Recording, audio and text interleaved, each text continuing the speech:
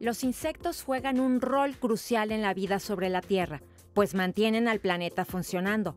Sin ellos, muchos seres humanos morirían de hambre, pues tres cuartas partes de las plantas que se siembran para comer dependen de que aquellos las polinicen, al igual que 80% de las especies de plantas silvestres en el mundo. De acuerdo con una producción de la BBC, los insectos representan el alimento para una gran variedad de animales, incluyendo la mayoría de pájaros, murciélagos, lagartos, anfibios y peces de agua dulce.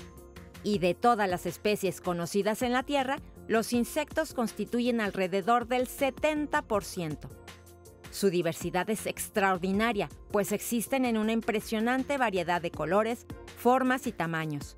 Sin embargo, muchos tipos de estos están en grandes problemas, pues un estudio de 2020 estimó que los insectos terrestres están disminuyendo en cerca de 9% por década, mientras que una investigación alemana encontró que la biomasa de insectos voladores en reservas naturales cayó un alarmante 76% entre 1989 y 2016.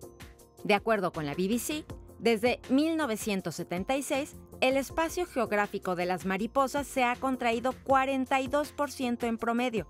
En Norteamérica, las poblaciones de mariposas monarca disminuyeron en 80% en este siglo. Pero otros peligros acechan a los insectos.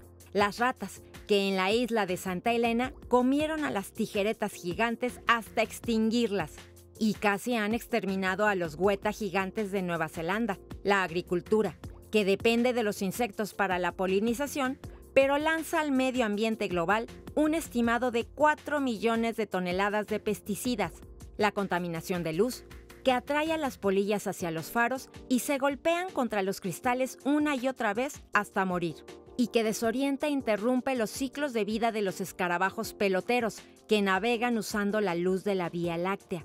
El calentamiento global, que está haciendo desaparecer a los sobrecalentados abejorros peludos.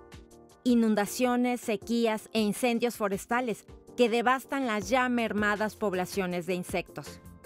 La destrucción a gran escala de hábitats de vida silvestre que eran ricos en insectos.